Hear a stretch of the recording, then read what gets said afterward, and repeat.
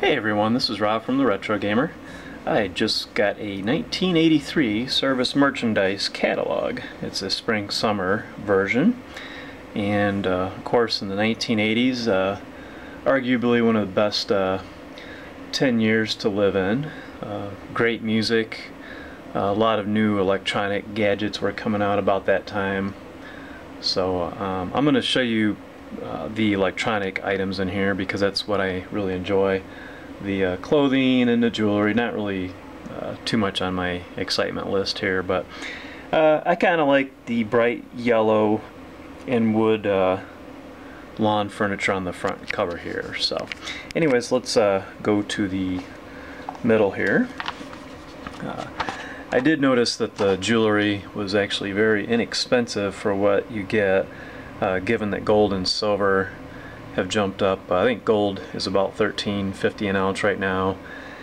And silver is around 20 an ounce. So you know what you see here these prices nowadays are probably you know three four or five times more expensive now if you were to buy jewelry just because of the spot price of gold and silver. So uh, the, a lot of jewelry in here some housewares uh, I do remember back in the day they actually had real silver sets, uh, sterling silver, uh, but again, you know, a lot of people probably wouldn't buy that stuff now just because of the expense that would be incurred by making the uh, jewelry out of silver. So, anyways, here are the uh, here's the beginning of the electronic section. Uh, back in the 80s, 90s, calculators were quite a big thing. You'd use them for school, obviously. Um, you know, nowadays, obviously, they still have uh, scientific calculators, but back then they were pretty expensive. Usually, you know, 50 to 150 dollars uh, would be a range on a scientific calculator. I believe you can still get them uh, for that high now, but you can get some lower price ones for you know 20, 30 bucks now. So that's uh, cost of those electronics came down. Here's some regular, I believe what you call SLR cameras. Uh, they actually used real film, not they're not digital cameras. They had no digital cameras. I'd probably say uh, early 90s when is when digital cameras came out. Uh, here is a Kodak disc camera. One of my friends had that. It actually used a unique disc film-based uh, cartridge you'd put in and I can't remember how many pictures you'd get on it, but it was pretty cool. A very compact camera for the for the age. Uh, they still had some Polaroid cameras back in the day, slide projectors. When you had invited your family over, you could bore them to death with the uh, slides of your family vacations. Here's a Commodore VIC-20, I believe, up here, about $150 that was the predecessor to the uh, Commodore 64. Not quite as powerful, still looked uh, about the same actually. Uh, here's an Intellivision 2 down here in the bottom. Most of your games ranged about $40 it looked like. Uh, the Atari 800 up here and then the Atari 400. Uh, the Atari 400 actually had a membrane type keyboard uh, very difficult to type on and the failure rates on those were actually extremely high.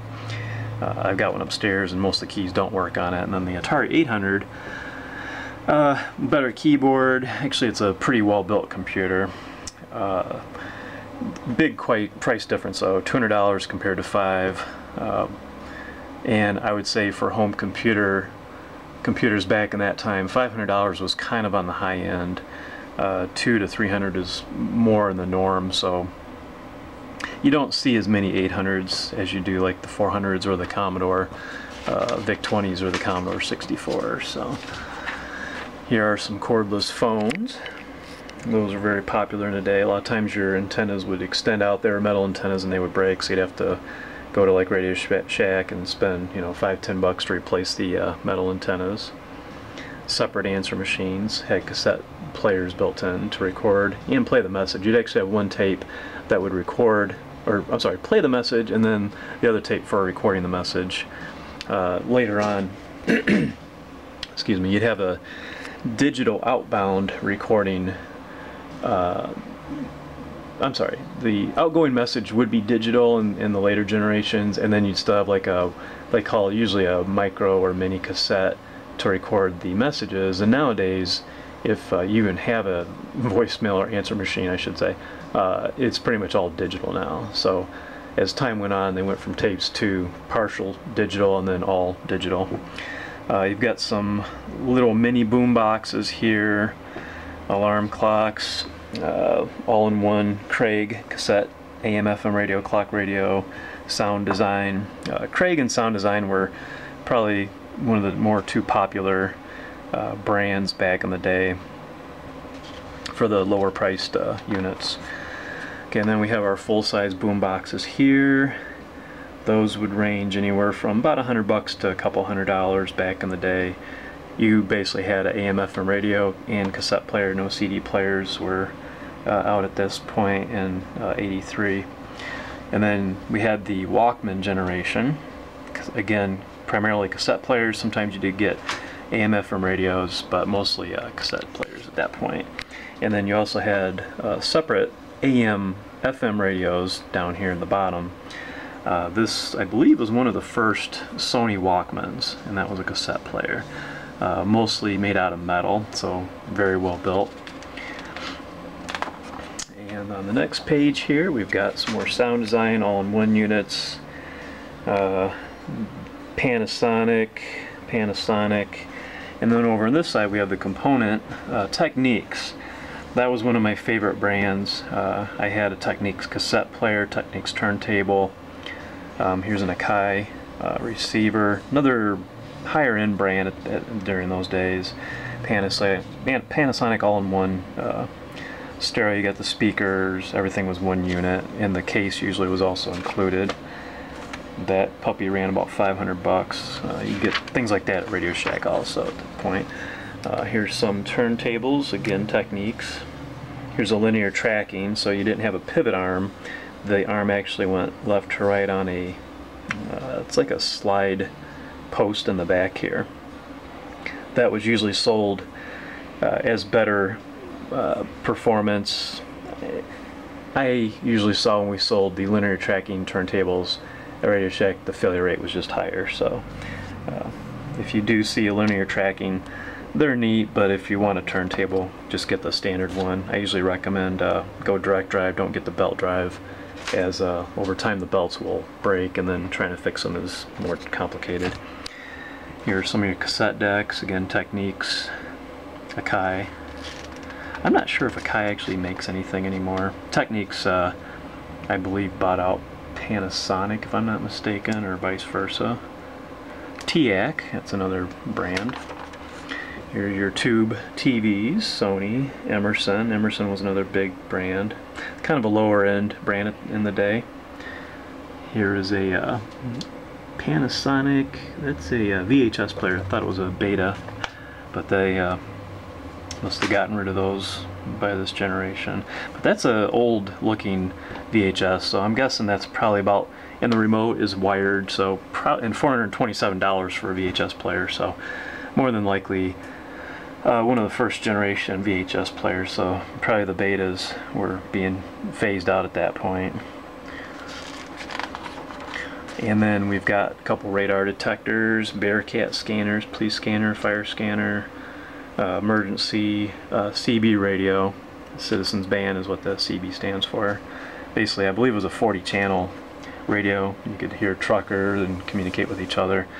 Uh, the range I think maybe up to five miles, not very long.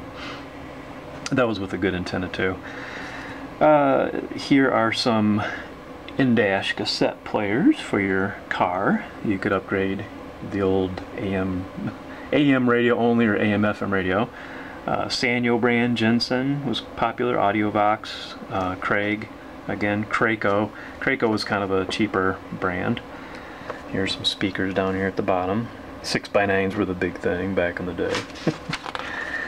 and I think that's about it. Um, like I said, the uh, the the other products in here, you know, the bicycles kind of look old school, but the, when I had the Sears catalog, it definitely seemed like there was a big generation gap between the 70s and then when we got into the 80s, you know, looking at stuff from the 80s until now, they don't look quite as uh, extreme as far as the differences, but uh, definitely from the even the 70s to the 80s, there was a big difference in the way the products looked, the clothing and everything.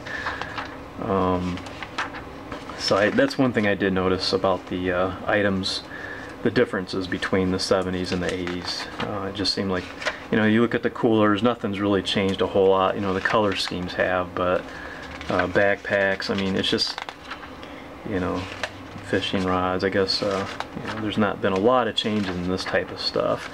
Again, I'd say mostly color type changes, maybe quality. Uh, here's some lawnmowers, weed eaters. Some drills again. Nothing really looks much different from what we have now. So, anyways, uh, there's some watches, Casio, awesome watches back in the day. Um, I'm going to show you just for kicks here. We talked about gold and silver to begin with. Uh, I just picked up some Sunshine one ounce uh, silver coins. I got 10 of them. Um, I am stacking silver because uh, I believe at some point that the US dollar will probably uh, I think we're actually in the process of it. I think it's going to lose its reserve currency and I, I believe that things in a bank account and uh, your retirement accounts I think that's going to be an issue at some point. I, I, I really believe that uh, countries like China are uh, they're actually building their own gold exchanges. Uh, there's a uh, the BRICS nations have uh, built their own banking infrastructure to replace, I believe, what will take over our own system. So you know, if if you guys out there actually are concerned about the dollar or just the economy in general um, and the banking system, uh, I believe that gold and silver are a way of uh, preserving your uh, purchasing power. Because if something does happen to the dollar as a reserve currency, what that means is that you know we as a country can print money. Other countries have to produce goods to buy and sell to buy the dollar as the reserve currency. We have luxury as the uh, having the dollar as a reserve currency, but if that ever goes away, then that means that the new reserve currency is going to be the strong currency, and then the dollar is just going to be. It's almost going to be like a flip flop, right? So the country that has it, which I kind of lean towards China possibly, uh, they will probably have the purchasing power or the, the ability to just print their own currency like we are right now and we won't have that because the trust in the dollar is going to go away. So uh, but anyways that's my idea. I you know am I 100% on target with this? I don't know but there's a good chance that it could happen. We're starting to see China unload the uh, US treasuries. They're selling those off a lot of countries around the world are selling off the treasuries, which means that there's a reason why that's happening. So, anyways, I'd recommend uh, these again, one ounce silver. Uh, one ounce gold coins are so expensive right now. I do have a few, but uh, silver is inexpensive, and it's also used in uh, like solar panels and electronics, cell phones. So I, I believe that silver is a very undervalued uh, precious metal. Uh, normally the out of ground ratio is about, uh, I think, one ounce of gold for every roughly 10 ounces of silver. And right now the ratio is one ounce of gold for like every 70 ounces. I believe that's because of uh, manipulation of the price of silver. Uh, some of the banks over in Europe have actually admitted to the manipulation prices of precious metals. So if that's the case, I believe that silver is going to be the winner uh, if something does happen. And if nothing else happens to the currency and everything stays hunky-dory, then you know what, just go and sell your silver and get your cash back, you know, it's not a big deal, but it's a good hedge against uh, uh, hyperinflation. So just wanted to show you those. Uh, these are Sunshine Silver. You can usually pick them up on eBay.